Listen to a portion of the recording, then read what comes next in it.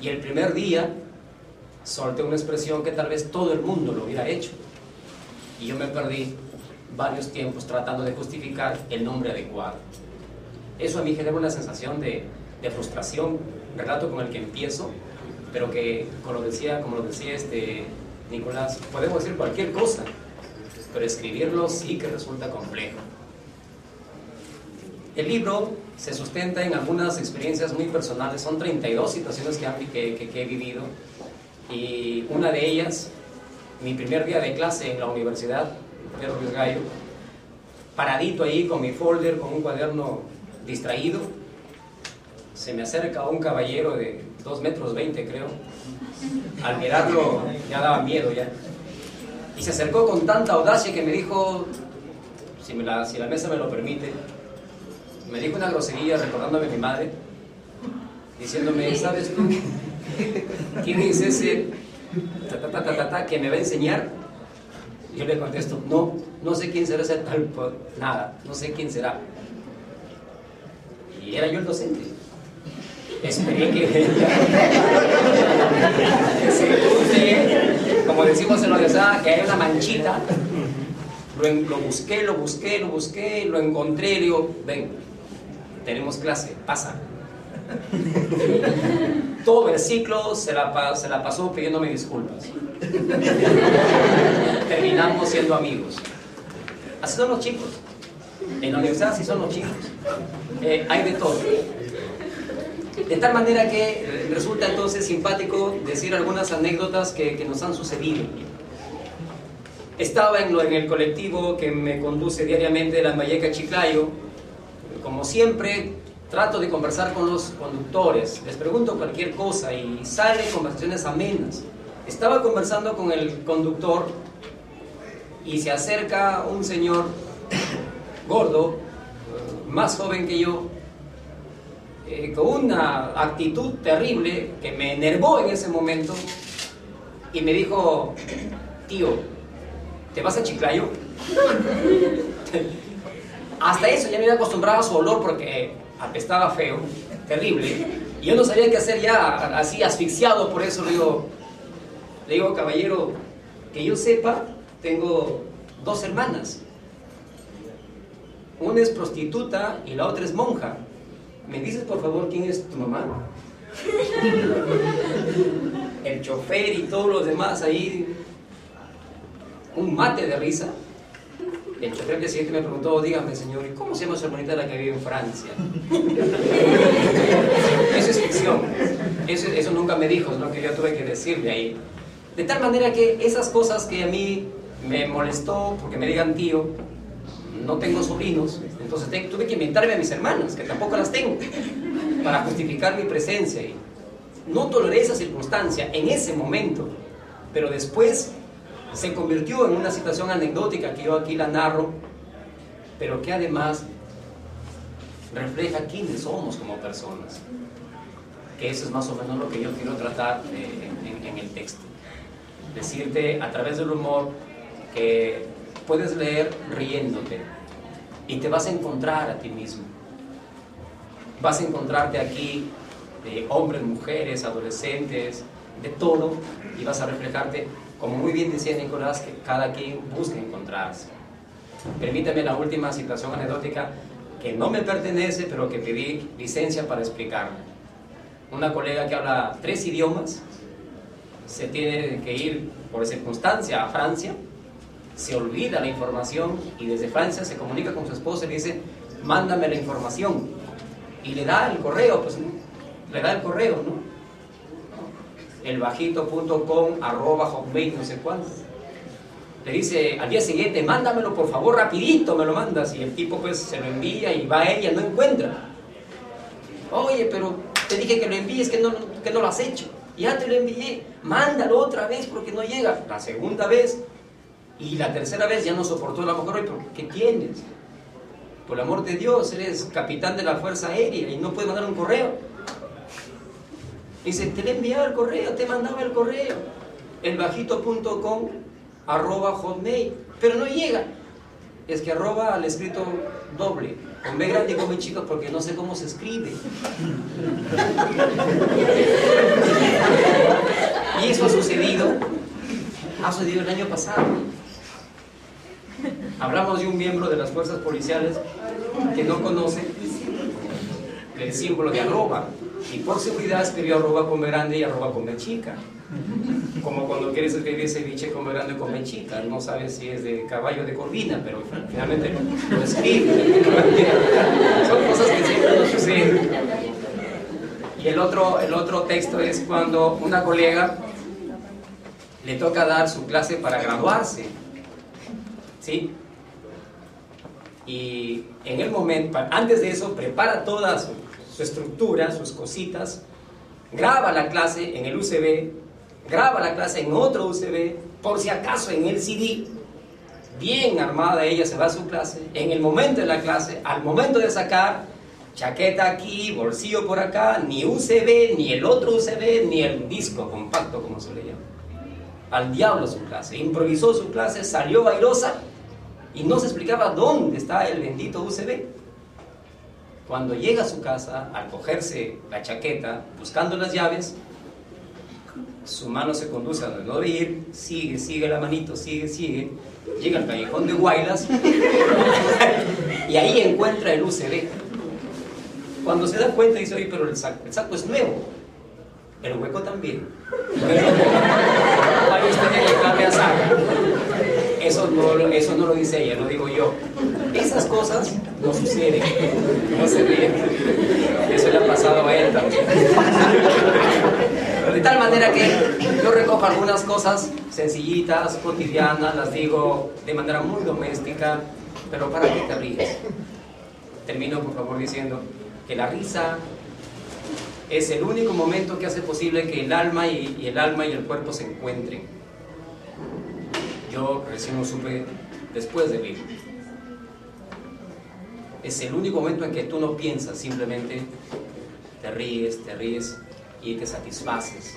Algo que es difícil de lograrlo en circunstancias de repente tan comunes como las nuestras. Imagínense hoy se han reído y yo soy de miedo porque estoy al lado de un asesino. La verdad no sé qué hacer esta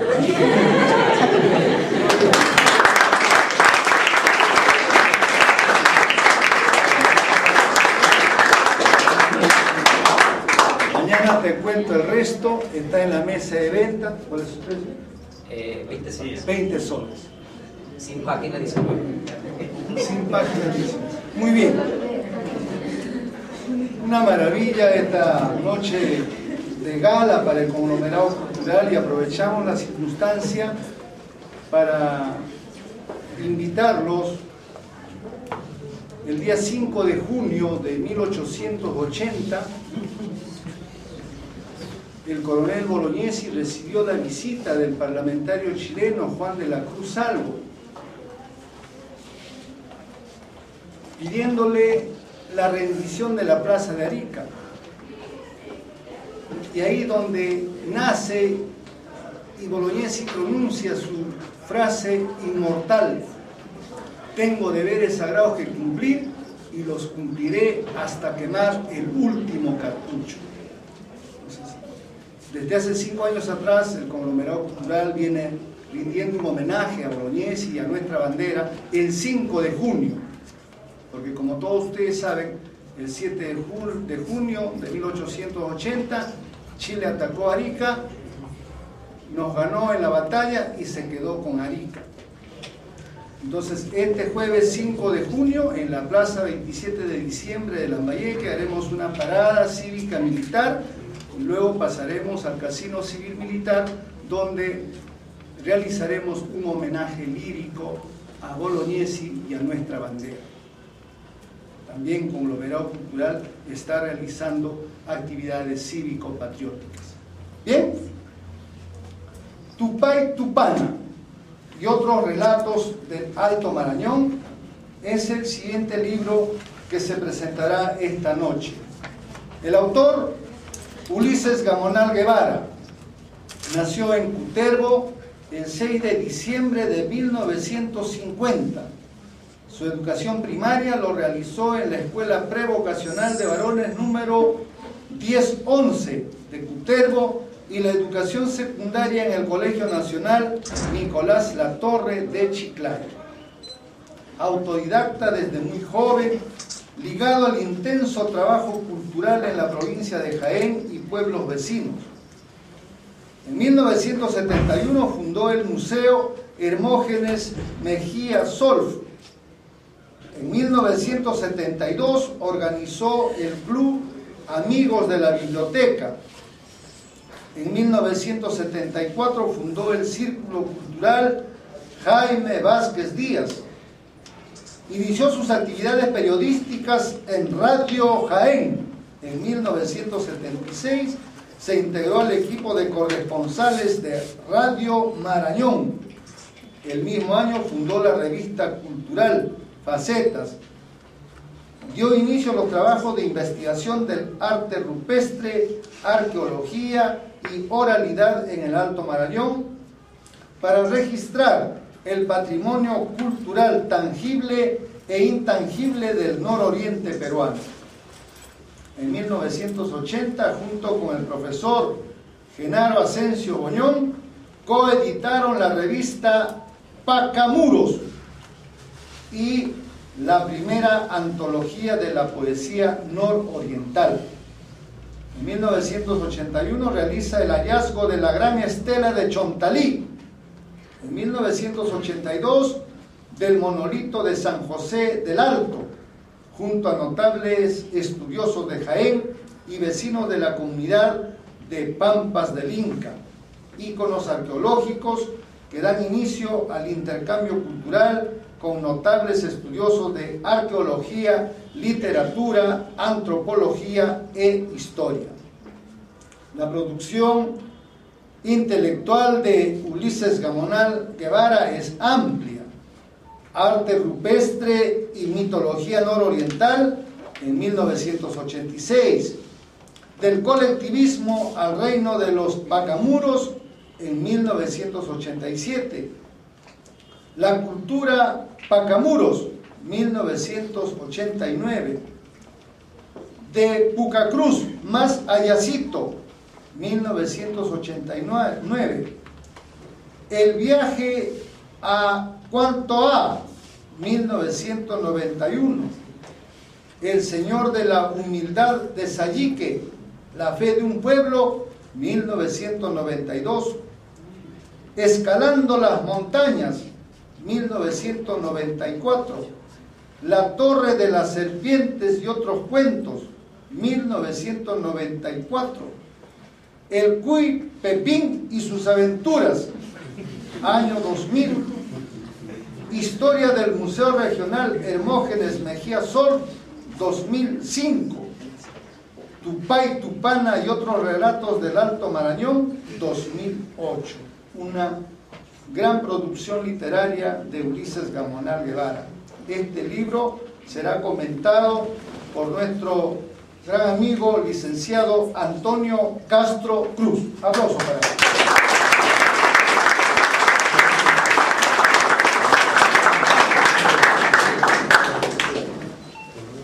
Muy bien, permítame saludar aquí a la mesa de honor. Con qué gusto volver aquí a este espacio de conglomerado cultural y como siempre sostenida parte de la mesa de honor, contar con el público, con la atención del público y sobre todo con ese cariño por la cultura y la literatura.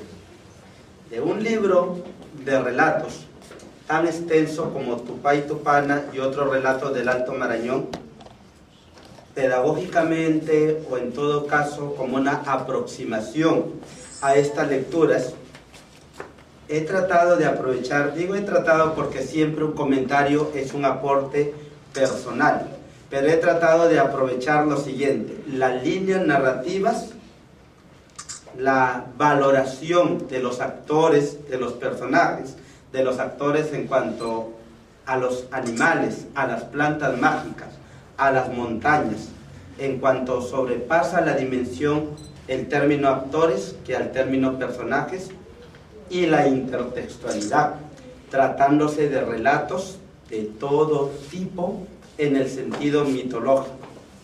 Si los relatos tuvieran una mitología, digamos, pura, de alguna forma quedaríamos en la parte de la fantasía, pero los relatos justamente dentro de la cosmovisión universal tienen que ver con la explicación u origen de, varias, de varios elementos en la naturaleza. Por ejemplo, como una introducción al tema, al tema que voy a tratar con respecto al libro, nosotros podemos observar lo siguiente. Un ejemplo breve que yo sé que todos conocemos, el ejemplo del diluvio.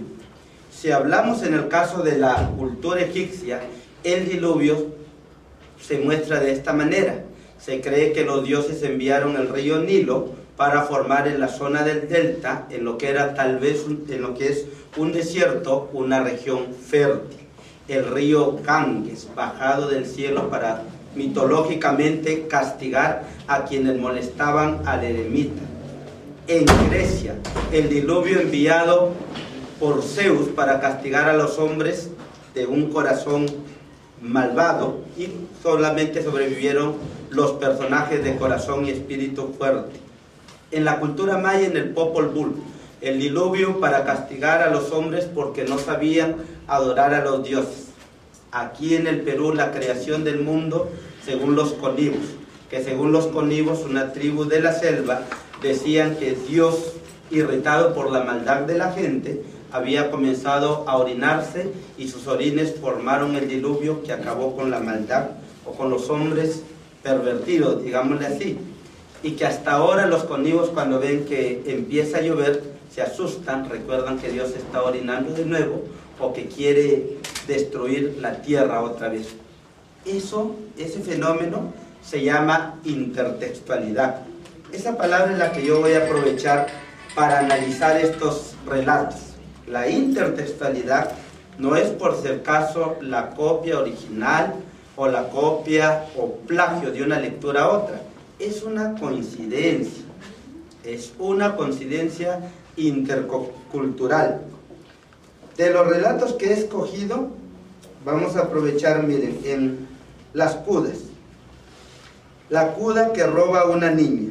Aquí hay un aspecto fantástico, pero que también en la forma en que se ha narrado se puede aprovechar otro toque.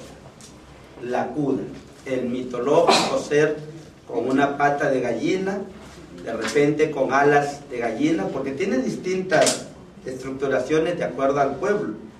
Pero la cuda, en este caso, en este relato, se roba a una niña. O sea, si hablamos de un fantasma en su forma pura, sería un fantasma que hace daño. Pero este fantasma se roba a una niña para criarla. Hablamos ahí del amor, yo diría de un amor truncado, porque ese fantasma busca una persona carnal.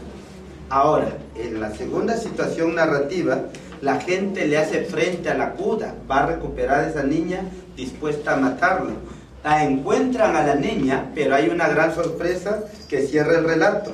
La cuda ya no quería volver con su madre. Había, se había acostumbrado a que su madre le era la cuda, la llamaba a ella. La niña termina prácticamente loca. Hay una alternativa, lo que es una mesada. Aquí hay también otra cuda. Lo más didáctico del libro es que está agrupado por los mismos temas por los mismos personajes, no en una forma repetida, sino en una forma más bien variada en el sentido como cada región toma el mismo personaje. Por ejemplo, hay otra cuda aficionada a la música, la cuda que enseñó a tocar guitarra. ¿Cómo a un músico de una aldea, de un pueblo, le llega el maravilloso don de tocar una guitarra, pero la que le había enseñado era la cuda? O sea que aquí como el fantasma como que presta un beneficio, pero no todo queda ahí, sino que este beneficio tiene una condición. Yo me atrevo a decir, miren a la edad que tengo, a mis 34 años, cuánto se, cuánto se gozaba anteriormente de los relatos de los padres. Voy a poner a ver en el año 88, cuando todavía se cortaba la luz a cada rato, aquí en el mismo centro de Chiclayo, pero por acá cerca, y, se, y nuestros padres, sobre todo la madre, nos reunía y nos contaba este tipo de historias. Por eso que sinceramente yo encuentro una obra, me adelanta a decir, como tu y tu pana, extensa, y no es un cansancio para nada leerla, al contrario, uno va encontrando parte de esta vida. ¿Quién no ha escuchado hablar sobre las famosas ánimas, con todo respeto? Si es que alguien cree en eso. Te otorgan un beneficio, pero te piden, muchos dicen, una vida a cambio. Porque la cuda que había enseñado este músico a tocar guitarra le pide prácticamente su vida. Y es que hay cudas que cantan bonito, entre paréntesis, para atraer a los hombres. Las cudas están relacionadas, digo yo, por su forma intertextualmente con las arpías de la cultura greco-latina. Y también están relacionadas con las sirenas que encantan a los hombres, porque se tiene este cuidado en los pueblos. Las cudas hembras persiguen a los varones y viceversa. Estaba leyendo el libro y algo que me interesa bastante compartir con ustedes, que está en la página 122, La Cuda de la Laguna. Tú estás leyendo todas las historias de la CUDA y hábilmente al final te encuentras el siguiente relato, si me permiten.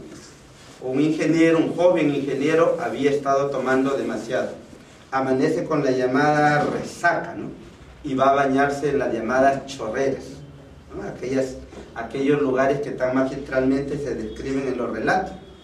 Y encuentra una señorita rubia, con la disculpa de los jóvenes, desnuda con un cuerpo por demás escultural, que, la llamaba, que lo llamaba y le decía que venga, que le haga el amor. Bueno, yo me voy a imaginar aquí que estoy con mis alumnos. Claro que se les cuenta esas historias, pero en una forma madura, porque tómale atención a esto, tómale atención a esto. El joven quería escupir, o sea, babear, como es la palabra cuando uno ve un espanto, pero se llenó de valor Salió corriendo, se tapó los ojos para no ver a la chica, llegó casi muerto de la impresión y cuenta la historia. Pero el mayor de la familia que lo había acogido, dice ingeniero, no es la puda, es una chica de carne y hueso, que cada vez que sale luna llena se aloca, se desnuda y espera que cualquier hombre le haga la muerte. Lo que se ha perdido, señor ingeniero. Eso yo lo tomaría en el caso. O sea, uno está leyendo todas las cosas y se encuentra con ese relato. Es el toque humorístico, ¿no? Preguntarle al autor si es que es real o ficticio. Ahora, la historia número 3 que he escogido es el hombre puma. Página 203. Miren, en el hombre puma empiezan a desaparecer los animales. La gente sospecha de un hombre extraño, cabeza grande, cabello y surto, más pelo de lo debido, demasiada corpulencia. Pero ¿qué pasaba? Este hombre se revolcaba, tres vueltas a la izquierda, tres vueltas a la derecha y se convertía en puma. Y acababa con los animales y con la gente. La gente, una vez más, armada de valor, le hace frente a este hombre puma. Lo mata la historia termina ahí, pero yo quiero aprovechar la intertextualidad. Coge los cuentos de Horacio Quiroga, cuentos de la selva, y encuentras un hermoso cuento, Juan Darien. Juan Darien es un tigre, un tigre que se hace niño. Sintetizo la historia. Una madre pierde a su niño. Llegan unos cazadores. La madre encuentra que querían matar a un cachorro de puma la madre se compadece, lo tapa con una colcha, también ambientado en la selva que nos cuenta Horacio Quiroga, y le da de su pezón para disimular. Y por más que el puma, el bebé, comienza a mamar y le arranca el pezón, la madre aguanta y eso, y lo salva. Y una especie de bruja, porque Horacio Quiroga no nos dice una bruja directamente, le dice que como ella había sacrificado el odio por el amor, ese iba a ser su hijo y Juan Darien crece. Pero la bruja también le había dicho que el día que alguien sacrifique el amor por el odio, todo se iba a acabar. Y es así porque una vecina chismosa avisa quién era el niño. Y el niño empieza a notarse más en su facción de tigre. Y la crueldad llega cuando traen a un domador de circo, amarran a Juan Darien a unos castillos de la feria del pueblo, lo queman con todo el castillo y lo torturan y matan a la madre que había querido defenderlo. Y el niño, Juan Darien, se transforma en un puma. Y cuando todos los dejan, cae desde lo alto del castillo chamuscado, pero estaba vivo. Y este Juan Darien regresa a la selva y organiza toda una resistencia de tigres que van en contra de los hombres. Primero se venga de aquel que la había azotado, de aquel domador de circo, de aquellos que se habían burlado, y luego organiza una resistencia contra el pueblo. La parte así emocionante en el caso del cuento de Horacio Quiroga es cuando Juan Darien va a la tumba, se arranca un pedazo de brazo y con la sangre escribe, Madre estaremos eternamente juntos, Juan Darien. Y da un grito enorme y le dice a sus compañeros, los hombres nos esperan, están armados, nosotros también. Y saltan todos a la guerra. ¿Por qué lo comparo a ese nivel intertextual? Porque aquí encuentro yo así puntualmente la lucha del hombre contra el animal, la lucha del hombre contra la naturaleza, que es un enfoque tal vez contrario a la dimensión panteísta, pero una vez más el hombre en su lucha por la naturaleza también acaba con ella. Ese es con respecto al hombre puma. El padrastro. El padrastro es una historia para organizarla así secuencialmente. Un hombre sale a trabajar. Este hombre vivía feliz, feliz con su familia. La madre, o sea, ellos tenían siete hijos. Y habían unos escarabajos, vamos a ver el valor de la palabra también en la tradición, llamado padrastro. Entonces cuando estaban solos en una noche en la selva, llega uno de estos bichos y apaga el candil. Y la madre, para que no se asusten, le dice, déjalo hijo, es el padrastro. Y se comienza a reír. Y así ellos se acostumbran a ese chiste.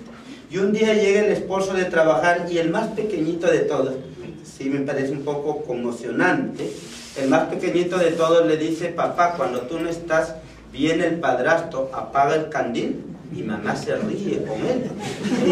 Nosotros, mira, nosotros, nos dice que no tengamos miedo. Y el padre, dimensión machista en lo que es la cosmovisión andina, peruana, va, saca su puñal, asesina de siete puñaladas a su esposa. Tarda varios años en regresar a casa. Y el más, cuando estaban ahí comiendo los hijos ya más grandes, de todas, aparece otro de estos bichos. Y entonces el hijo, el más pequeño, dice con todo odio, con todo odio. El cuento cambia, esto da un viraje total, ¿no?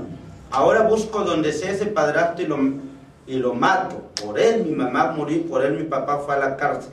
Recién el padre comprende lo que había hecho, la mala interpretación de la palabra, y lo único que le queda en el cuento, digo lo único que le queda, es clamar de rodillas perdón a Dios y a su propia familia. Otra historia, cuando los animales hablaban, página 161. Digo así esto para agilizar las secuencias narrativas. Personajes, el campesino acompañado de su burro y su perro. El campesino golpea terriblemente al burro, todos los días lo golpeaba. Llega un momento en que el burro le dice, ¿qué tienes, infeliz? Todos los días te cargo la leña, me das mala comida y encima me agarras a palazos. ¿Qué diablos te has creído? Con una voz así ronca. El campesino tiembla de miedo, burro bota la carga y el campesino huye. Pero no se percata que su perro también huye detrás de él. Hay dos versiones de esta historia, me voy a permitir contar las dos. En la historia el hombre está jadeando, asustado y se, recién se da cuenta que su perro lo había seguido. Y el perro le dice, ya ves, ¿para qué le pegas al burro? y entonces, en la otra versión, ligeramente modificada, el hombre está jadeando, el perro se sienta sobre sus patas, cruza las patas delanteras también, dice, qué susto nos ha dado ese burro. Dos versiones del mismo. Yo le he puesto ahí, como se dice, un toque de intertextualidad en la Biblia. Y este relato, eh, digo la verdad, me tocó verlo con algunos alumnos en la parte de mitos prehispánicos. Mira, me ha servido bastante. Me dice un alumno, profesor, ¿por qué le ponen en la pizarra lo que es la Biblia? Cuando Balán, personaje bíblico del Antiguo Testamento, va a maldecir a los seguidores de Dios Montado en su asna, su asna se echa, no quería pasar, Balán lo golpea, el asna lo mira y le dice, ¿por qué me pegas? Pero Balán no tiene ningún miedo, le parece algo normal que los animales hablen. Le dice, me has hecho quedar como un tonto. y luego recién puede ver a un enorme y brillante ángel con una espada, con una espada de aquella de la época de doble filo, que le dice, ¿por qué has golpeado a tu burro? Si ella hubiera avanzado, yo te habría dicho pedazos a ti, pero a ella no le hubiera hecho nada. Balán dice, he pecado contra Dios y regresa. Una tradición bíblica, una tradición del Popol Vuh, en donde los perros hablaban, y una tradición que una vez más encontramos en Tupay Tupán. Esta leyenda, la número 6 que he escogido, el domingo 7. Los diablos de la selva, los Chuyapchak. También conozco esta historia, de verdad que sería esto, sería malo de mi parte, es una mentira, pero justamente ayer jueves le he contado hasta en tres salones, me permito decir del colegio Basadre, donde trabajo. Voy esto, un campesino sigue el rastro de un venado. El venado, o sea, el campesino, por distraerse, se da cuenta que había llegado la noche. En ese rato se vuelve loco, comienza a golpear los árboles con un palo, a hacer disparos con su escopeta, luego se serena. Así no iba a conseguir nada. Busca refugio para que no le hagan daño las fieras, se sube a un árbol y llegan los chuyachakis, los demonios de la selva, en un aquelarre. Y estos chuyachakis, para colmo, llegan y se centran en el árbol donde estaba el cazador y estos cantaban a cada rato y el cazador parecía volverse loco. Les comento algo, un alumno me dice, profesor, ¿y qué cantaban los chuyachaquis? En delante de los 37, 38 alumnos. Digo, ¿sabías que ibas a preguntar? Escúchale. Los chuyachaquis cantaban de esta manera. Caipi, caipi, manac pactancho. Caipi, caipi, manac pactancho. Caipi, caipi, manac pactancho. Lunes, martes, miércoles 3 lunes, martes, miércoles 3. Y el cazador, con una inspiración divina, solo atina a gritar a todo pulmón. Jueves, viernes, sábado 6. Jueves, viernes, sábado 6. Jefe de los Chuyachaquis se queda impresionado, lo llama a su lado, pero lo recompensa. Le conduce a un lugar donde los animales se dejaban coger con facilidad. Y ahí viene nuevamente la condición mitológica. No le digas a nadie de dónde salió tu fortuna. Y el cazador se hace millonario, celebra un trapiche, entiende ese trapiche como el instrumento en donde se muele la caña, entiende ese trapiche como la fiesta que se organiza en la selva, y un cazador lleno de ambición, un compadre lleno de ambición, le pide que le revele el secreto y el cazador le revela. El compadre va al mismo árbol, avienta una noche, espera, llegan los chuyachakis nuevamente con su canto, con el caipi, caipi, manac pactancho, con el lunes, martes, miércoles 3, pero ya completado por el cazador. Jueves, viernes, sábado 6. Y el compadre lleno de ambición grita todo pulmón, domingo 7. Domingo 7.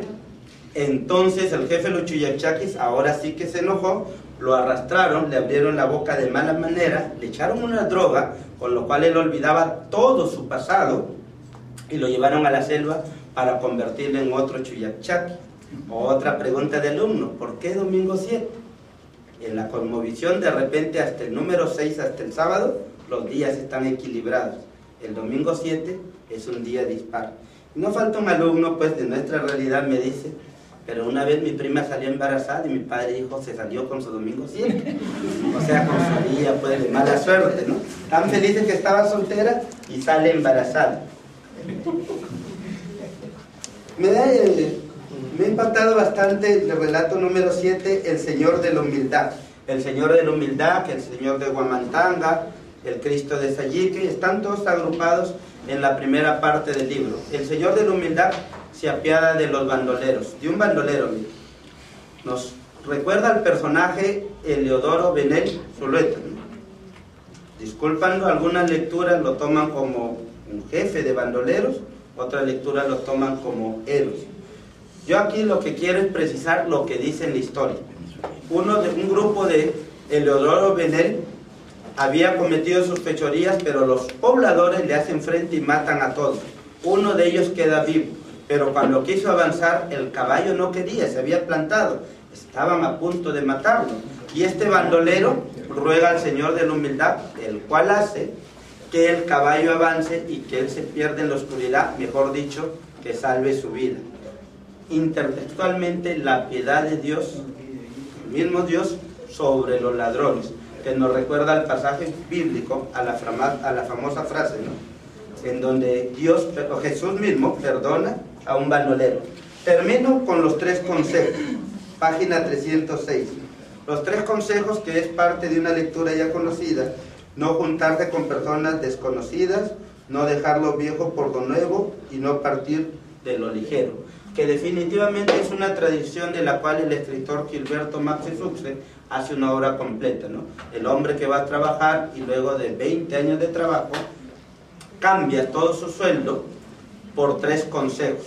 Regresa, por ejemplo, y encuentra a su esposa acariciando a un joven al que él acertadamente no mata en ese momento, pero se da con la sorpresa que ese joven era su hijo. Que los tres consejos tienen un trasfondo más de que lo más primero está lo espiritual y luego lo material. En conclusión, yo he escogido ocho relatos, como le digo, en línea temática, en secuencias narrativas y en un toque, diría, de intertextualidad. Aquí tenemos hasta 300 relatos de los cuales disfrutar. Diría yo esto, un libro en el cual podemos de repente, ya que el tiempo avanza tan rápido, compartirlo con nuestros hijos, digamos a vivo con nuestros nietos, y seguirles contando estas historias. Opino yo como docente, y sé que las personas me, me entienden, opino yo como docente que por más internet, por más Facebook, con todo respeto a los jóvenes, siempre una lectura, siempre cuando alguien dice, vente, cuento algo, es totalmente emocionante. Y la parte de nosotros, la oralidad sin comunicación, no tendríamos sociedad. En conclusión, profesor Ulises Gamonal, yo profesor en el sentido didáctico, de recopilador, con todo respeto, para mí ha sido un gusto presentar el libro, los invito de todo corazón a leerlo y a ustedes les agradezco siempre como público por su atención. Gracias.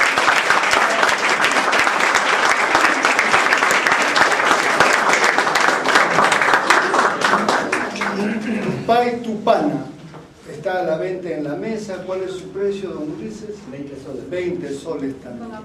Un regalo para todos nuestro digno auditorio. Muy bien.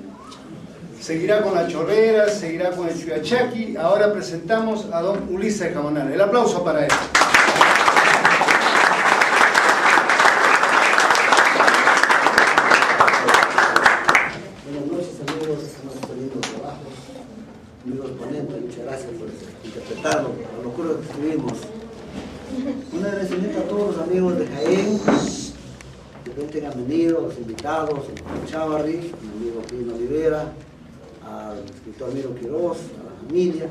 Muchos amigos de esta tierra han venido por dos motivos. Primero, este librito es parte del Alto Marañón. Eso como decía nuestro presentador, son más de 300 o más mitos que me recogieron en el sur oriente ecuatoriano, parte de Colombia, parte de Lambayeque, los cuentos hermosillos, mitos de aquí en Lambayeque extraordinarios, parte de Piura, porque somos pues, norteños. Y el nororiente Marañón es parte de nuestra cultura. Este momento quiero agradecer a mi mamá que aquí está con nosotros, ella tiene 86 años, y ella es la que me ayudó a recoger esta leyenda. Gracias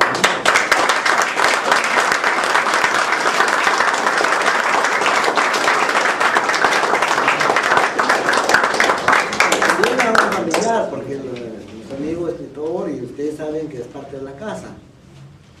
Aquí Marco, él es, un trabajo intenso también, en la parte del río Chotano, y parte de Lambayeque, Salas, Penachila, toda la parte de Incahuasi, en la inmensa oralidad que hay aquí. No porque es mi trabajo, es nuestro trabajo, amigos asistentes.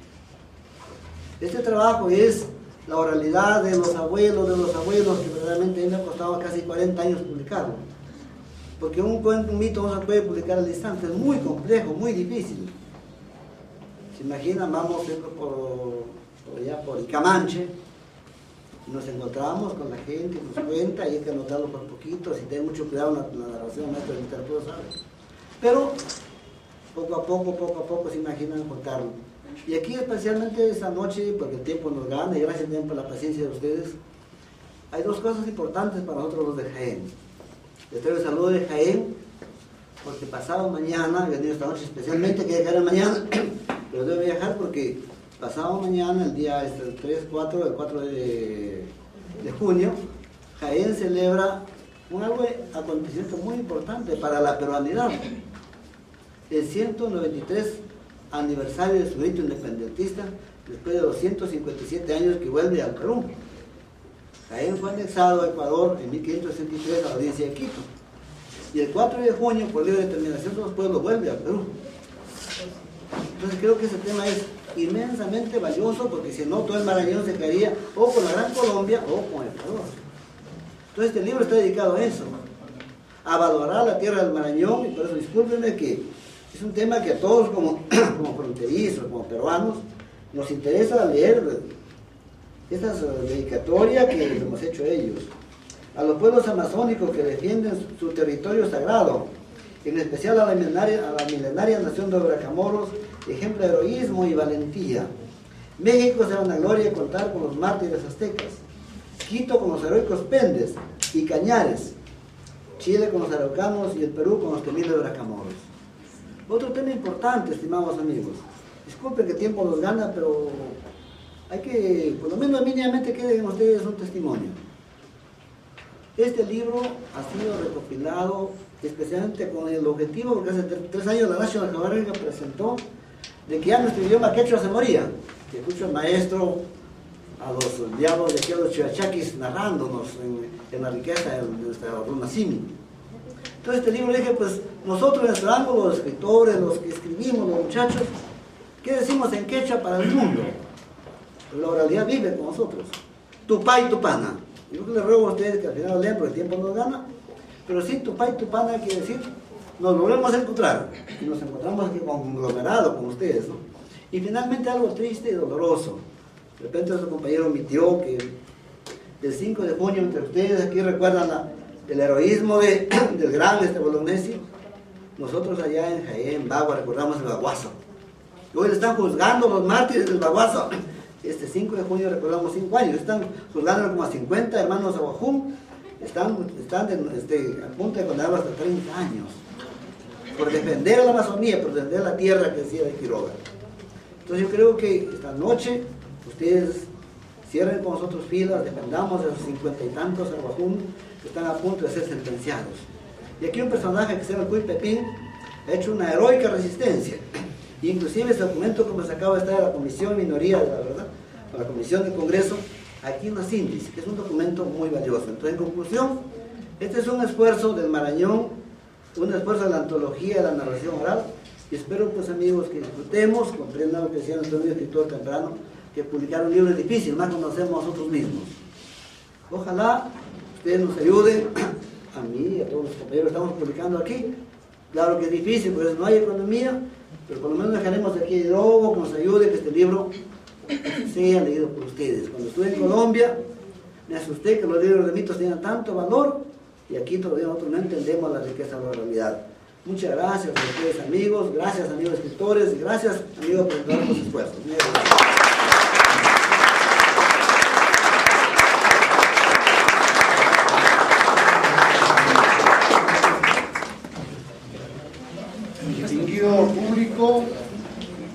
y hemos presentado cuatro libros en esta noche, una noche histórica para el conglomerado cultural. El siguiente libro, último de la noche, todos se han ido.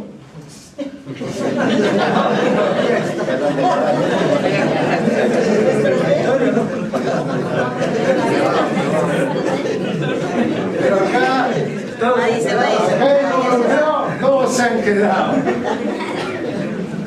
El autor Edgar Vázquez, que según Giovanna Signori, Edgar Vázquez Vázquez nació en 1978 en la hacienda Pucalá, en Chiclayo.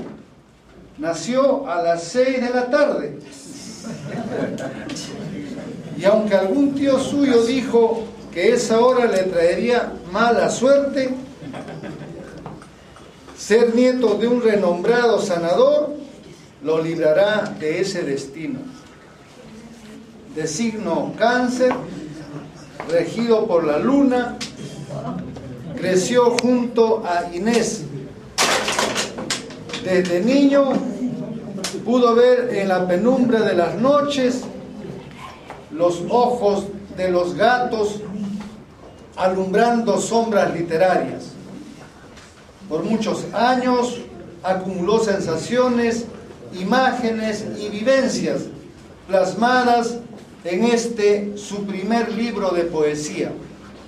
El primero que nace de una urgencia y una necesidad de reconciliación y de evitar que la luna de cáncer lo siga persiguiendo en noches de difuntos y que ese fantasma que peina sus tristezas se diluya también a las seis de la tarde.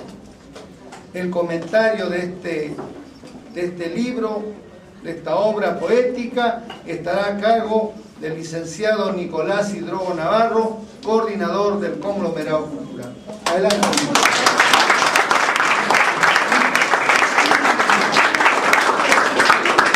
Voy a hacerlo bastante breve y escueto por respeto al, al horario ya de los jóvenes. Yo considero que cuando se quiere hacer interpretación de poesía, se entra en un pantano, en un pantano de arenas movedizas, porque a diferencia de la prosa, uno sabe cuál es el funcionamiento estructural y cuáles son las pautas semánticas, sintácticas que tiene un texto narrativo. La licencia que tiene la poesía es que tú puedes ir contra esas reglas y ese canon y esas normas impuestas por la tradición poética. En eso creo que se ha basado la evolución de la literatura, fundamentalmente la lírica, lo poético, en que el artista, el escritor, el poeta, tiene esa valiosísima licencia de romper los esquemas, los paradigmas que están preestablecidos desde la época aristotélica. Desde la época aristotélica nosotros sabemos que en teatro hay exposición, nudo y desenlace. De la misma manera también para la narrativa. Pero lo que no se ha establecido, ¿no es cierto?, a partir de la vanguardia, terminando el siglo XIX, es que para la poesía haya una norma estricta, haya una camisa de fuerza. Mi concepto como lector y docente es que yo creo que existen tres niveles en lo poético. El primer nivel es la edad de piedra, es lo simple, lo que todo el mundo escribe, todo el mundo casi empieza haciendo poesía, cartitas para la, para la amada, eh, eh, poemitas, digamos, de, de, de, de, sección, de despecho. Y en esa edad de piedra lo que interesa no es, digamos, el fondo, lo que interesa no es la forma, lo que interesa fundamentalmente es lo que tú quieres decir. Allí la pirotecnia verbal queda de lado. El trabajo antropológico, el trabajo estético, el trabajo simbólico, el trabajo alegórico queda de lado. ¿Por qué? Porque nosotros nos inauguramos como poetas, digamos, eh, humanos, escribiéndole de lo más simple al ser que más queremos. Y lo que menos interesa en ese momento es el manejo tropológico del lenguaje. Porque lo que nos interesa es transmitir la idea así directa, sin, mucho, sin, mucho, sin mucha intermediación, ¿no es cierto?, del lenguaje. El lenguaje en este caso se convierte en un instrumento de comunicación directa, en un puente directo. Esa es, para mí, es la etapa, digamos, de la edad de piedra y la etapa, digamos, de lo simple.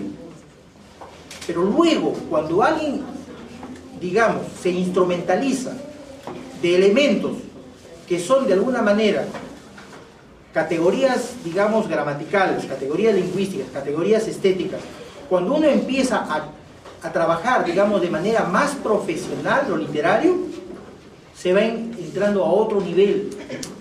Y ahí hay dos niveles divergentes.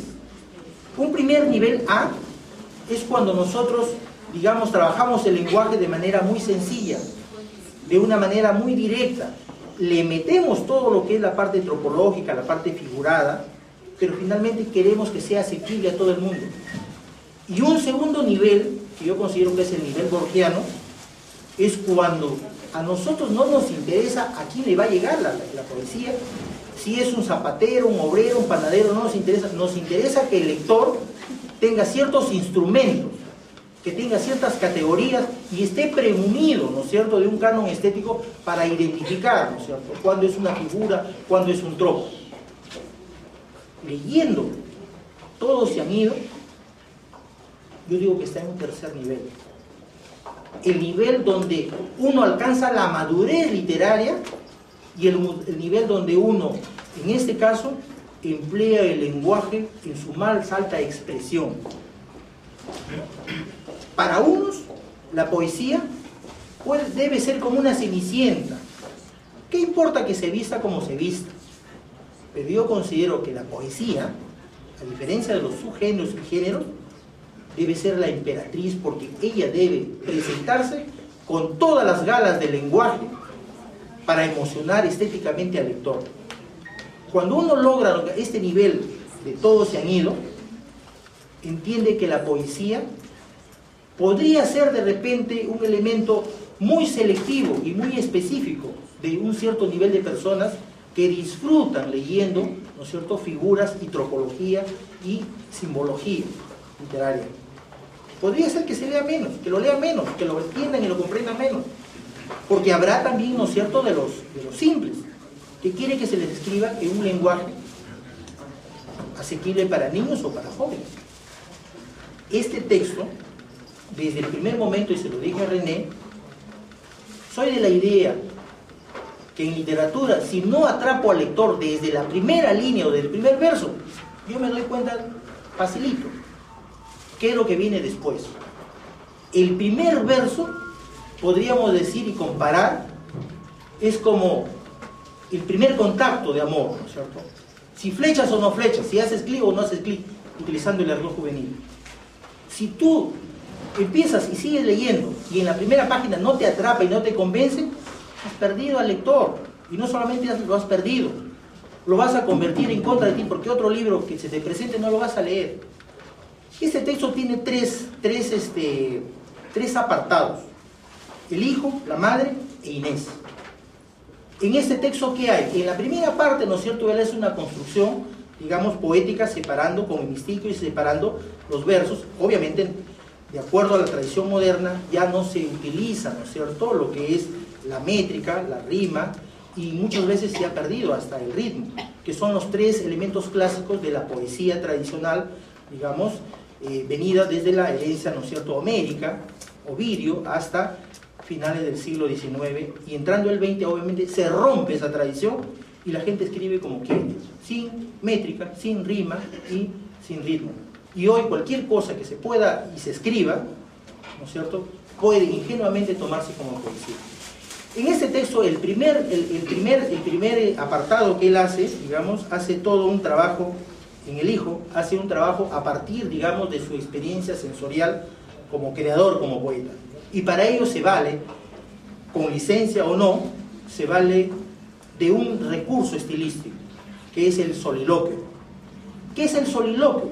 El soliloquio, que ya viene, ¿no es cierto?, de la tradición española, el soliloquio es cuando tú haces un ejercicio mental, ¿no es cierto?, de reflexionar en torno a la vida, en torno a la muerte, en torno, digamos, a la, existencia, a los problemas del mundo, y en torno a tu propia experiencia personal como poeta.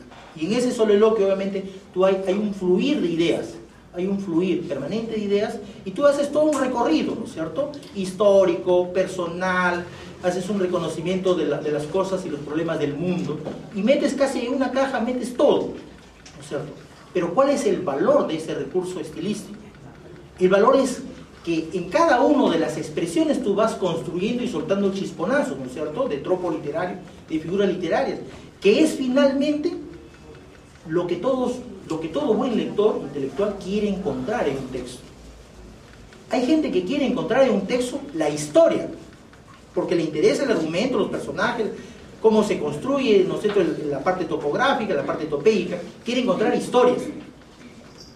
Pero hay gente que cansado de eso, no solo quiere encontrar historias, quiere encontrar maneras distintas de decir. Una diferencia entre el lenguaje coloquial que empleamos todas las personas y que nos sirve para comunicarnos con respecto al lenguaje poético, es que en la poesía yo busco encontrar un goce y un disfrute estético a través de la tropología, a través del lenguaje simbólico, alegórico y figurado. Cuando yo entro en ese terreno, estoy haciendo un disfrute estético. Y si yo me quedo en el nivel primitivo, solamente cuento historias, que es lo que nos hacen los colegiales. ¿No es cierto? Busca el argumento, las ideas principales, la idea secundaria, la caracterización de los personajes, cita del autor y finalmente terminas tú en una, eh, una batería imaginaria de preguntas y respuestas con el, el autor de la obra. Y te quedas en ese nivel. ¿Qué hemos desarrollado? ¿Alguna capacidad intelectiva? No. Sencillamente una lectura, ¿no es cierto? Eh, literal. Porque todo, está, todo lo que me están preguntando en la, ficha, en la ficha bibliográfica está ahí. En el segundo apartado, que es, digamos, la madre, ¿no es cierto?, empieza a construir ese mundo imaginario de la interrelación entre las otras personas. Y en el tercer apartado sí entra la prosa poética, que a mí me parece, ¿no es cierto?, por los textos que hemos comentado aquí, les decía inicialmente, antes del comentario, hemos presentado 167 libros en este espacio y serán sumados 5 más. Es decir, la experiencia que hemos capitalizado nos permite entender como lectores, como comentaristas, que indudablemente hemos tenido de todo. Pero esta noche tenemos un texto singular tiene un manejo literario muy sofisticado. Sé que no lo van a entender fácilmente y eso a veces es una preocupación para el lector. Si no me entienden, ¿cómo compro el libro? Pero yo creo que aquí es cuando más se aprende. En la literatura yo he sacado una acción. Los libros fáciles no me enseñan muchas cosas. Hay centenares de autores en el mundo que nunca jamás llegaremos a leerlo. Pero como lector, siendo colegial como usted, porque aquí hay casi 30 o 40% de lectores jóvenes, eh, que son gracias a Manuel Rubio, yo les digo, porque también he sido como ustedes, y me siento como ustedes, y para mí es una felicidad enorme que estén aquí esa cantidad de público. Como lector, busquen las lecturas más complicadas y más difíciles. Eso los va a catapultar, ¿no es cierto?, a desarrollar los procesos intelectuales más complejos, de interpretar, analizar, comparar, ¿no es cierto?, criticar y finalmente llegar al pináculo, que es crear.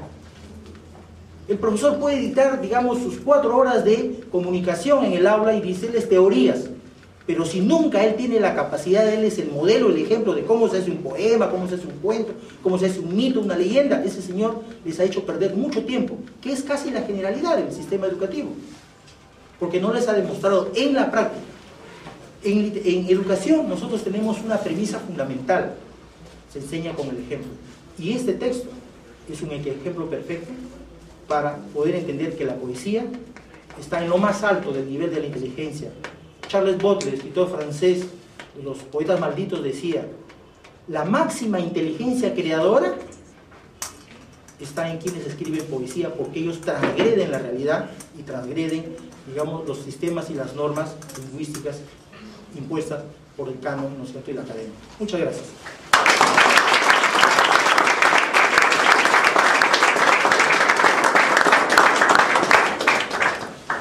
Un lujo para nosotros que Edgar Vázquez Vázquez esté en la mesa de honor. Él es el autor del libro Todos se han ido. Con ustedes, Edgar Vázquez Vázquez.